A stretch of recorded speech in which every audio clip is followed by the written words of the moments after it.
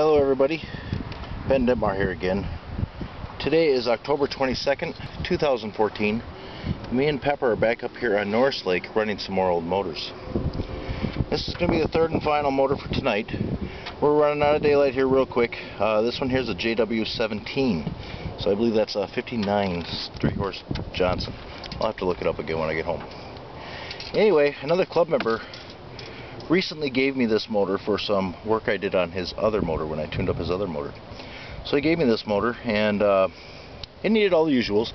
It needed one new coil, uh, clean and adjust the points. Both the condensers were replaced, a new water pump impeller, change oil in the gear case, and uh, carburetor clean. So we'll do a little demonstration on this one.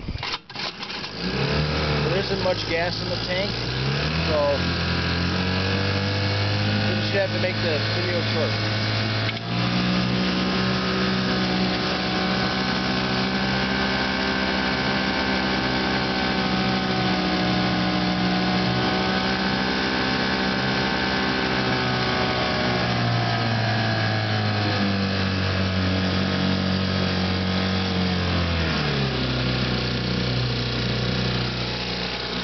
Hard to tell on these heavy lights and how it's pumping, but you can see this one pumping away.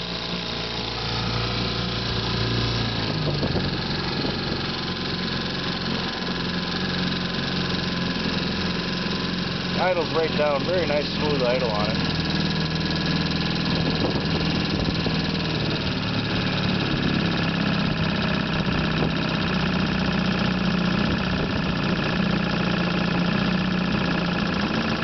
Okay, that'll do it for tonight. Thank you for watching. We'll see you next time. Bye.